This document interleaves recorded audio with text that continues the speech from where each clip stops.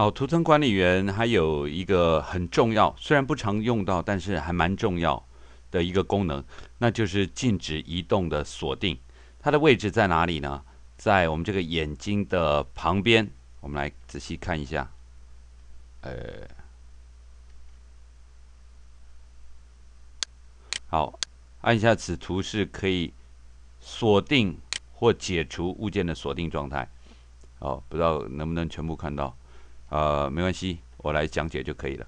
那什么叫做解除锁定状态呢？呃，锁设定或解除锁定状态，就是呃，我们常常啊在设计我们在排版的时候，有的时候有一些物件的安排是非常呃精细的。我们不希望，比如它有跟什么什么东西来对齐，那如果移动到了，那再重新对回去会非常辛苦。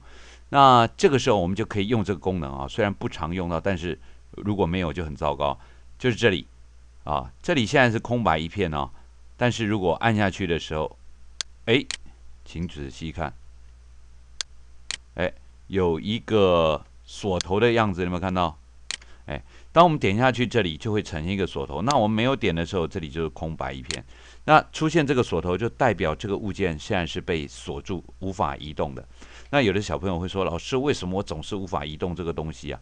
因为啊，它被你锁住了。那这是，比如说，我现在点一下，哎，这里出现反白的现象，也就是这行字现在被锁定了。如果想要移动就没办法。你看啊，我现在用这个挑选物件，我选到它，我拉，哎，我一拉，它就出现这个对话框了。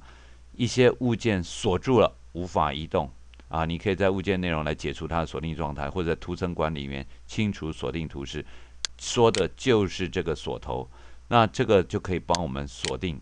那它是非常好用的一个功能，虽然不常用到。那将来如果你你的这个排版设计做了一些很精细的对齐啊，你不希望它动到啊，你不希望它动到，免得出现出现这个呃跑跑掉走位，那你就可以透过这个锁定物件来把它锁住，这样就禁止它的移动啊。这个功能啊。呃，虽然不常用到，但是你要知道一下，万一将来有需要的时候，你就可以使用它。那今天讲到这里，拜拜。